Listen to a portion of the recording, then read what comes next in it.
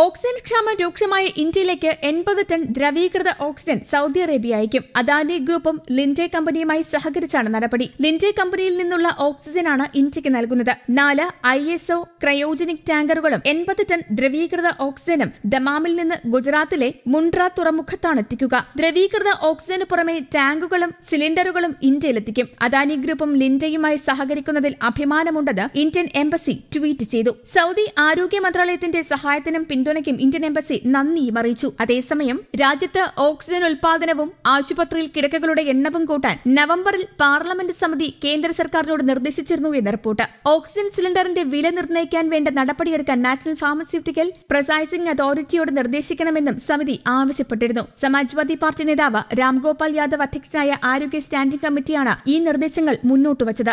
ആശുപത്രി കിടക്കകളുടെയും വെന്റിലേറ്റർ സൗകര്യത്തിന്റെയും കുറവ് കോവിഡ് നിയന്ത്രണം സങ്കീർണമാക്കുമെന്നും സമിതി പറഞ്ഞു.